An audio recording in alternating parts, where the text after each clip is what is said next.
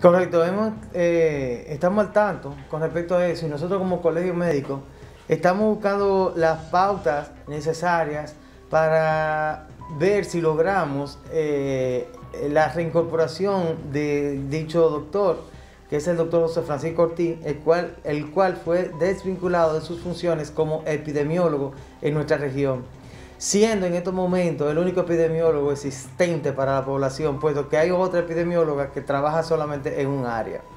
El doctor José Francisco Ortiz ha trabajado en este, en este tiempo de pandemia fuertemente, 24/7, incluso bajo una licencia médica que tenía por una cirugía que tuvo en la rodilla. También en ese tiempo él se vio elaborando. Y nos lleva a sorpresa el que llegue ahora una desvinculación en un momento de pandemia, de emergencia, de crisis sanitaria del país y donde nuestro presidente Luis Abinader dijo que no pueden haber desvinculaciones. Siendo el doctor Ortiz prácticamente el único epidemiólogo eh, que ha estado trabajando y encargado del, sector COVID en, lo que es salud pública, nos, lleva llena de indignación. Y nada, eh, esperamos que las autoridades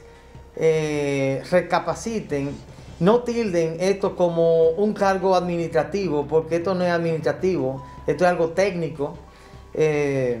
y además el doctor Ortiz lleva laborando 27, ya entrando a los 28 años como epidemiólogo.